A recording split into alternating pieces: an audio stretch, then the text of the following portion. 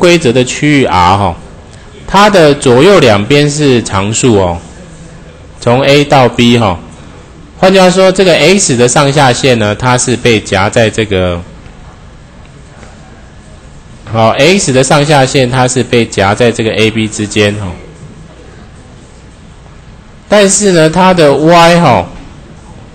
这个 y 呢，整个区域里面的 y 哈，它是受到这两个函数哦，好所所所围住哈。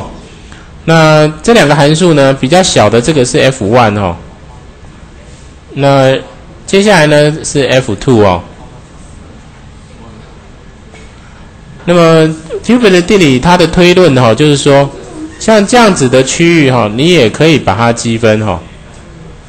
但是我们在做积分的时候啊，同学要记得呢，你必须呢先对 y 再对 x 哈做积分哈。